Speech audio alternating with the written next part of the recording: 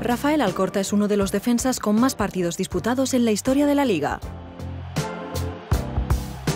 370 partidos y dos campeonatos en su haber avalan a este central talentoso, que desarrolló su carrera íntegramente entre San Mamés y el Santiago Bernabéu. Desde su Bilbao natal sigue muy de cerca la competición y tiene claro que el Real Madrid es el gran favorito para alzarse este año con el título liguero.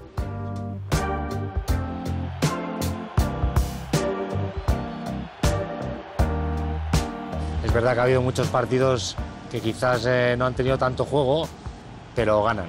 Es un equipo ganador, eh, es un equipo con muy buena mentalidad y además yo creo que Zidane ha conseguido tener eh, un banquillo muy muy profundo y que estén todos preparados ¿no? en cualquier momento. Yo creo que es un hombre de fútbol, es un hombre que ha aprovechado muy bien el respeto que le tiene todo el mundo por lo que fue como futbolista y, él ha aprovechado muy bien eh, ese tirón. ¿no? Yo creo que además es muy natural y es un tío que, dice las cosas de una manera muy natural.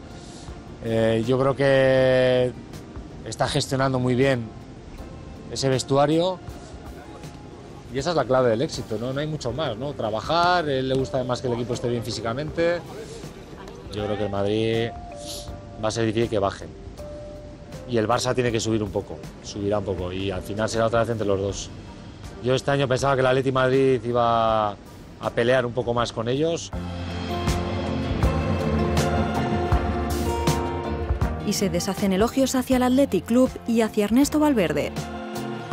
Lo que está haciendo el Atleti es para mí un año más espectacular. Puede jugar más menos, pero está ahí arriba, está en el, pelotón de arriba con muy buenos equipos, con lesiones, con gente que hay que dosificarles, pero Ernesto como siempre también, con, yo creo que con mucha calma y mucha tranquilidad, sigue metiendo gente, gente nueva, chavales, les da minutos, los chavales le responden. Y eso es lo que le está dando ahora mismo éxito al Atleti. Yo creo que una parte importante es Beñat, que ha tenido una lesión larga. Y yo creo que cuando está Beñat bien el equipo tiene un poco más de juego. Y luego que tienes arriba dos tíos que es de lo mejor de la liga, Raúl y Arich, y muchas veces juegas con ellos directamente, ¿no? Y juegas a segunda jugada, bueno, eh, no hay que hacerlo siempre, pero es bastante efectivo porque se llevan muchos balones, ¿no? Y es una manera de, es una manera de atacar.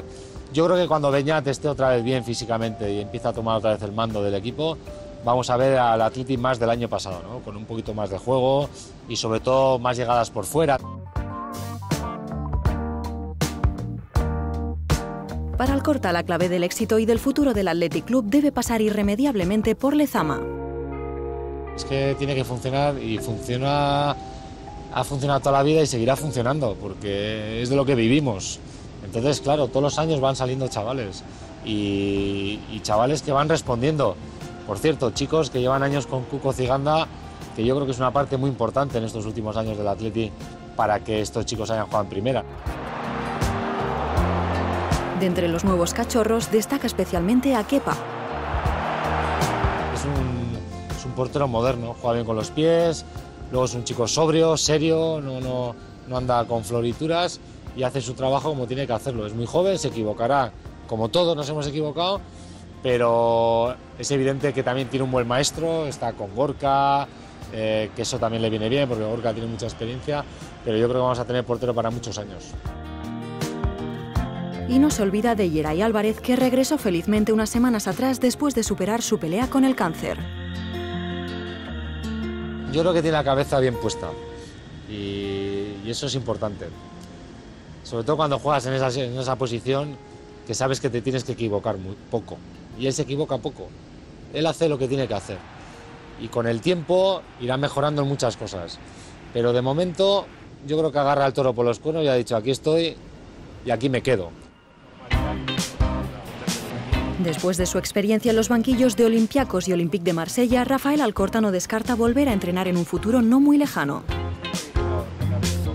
Tengo, tengo, tengo ahí algo, tengo el gusanillo, lo que pasa que ahora estoy en un momento de mi vida que, quiero estar en Bilbao, que quiero disfrutar de, mis hijos, eh, estoy haciendo otras cosas, pero siempre estás preparado, ¿no? por si acaso. Rafa Alcorta, historia viva de nuestra competición que espera algún día volver a vivir el fútbol desde los terrenos de juego.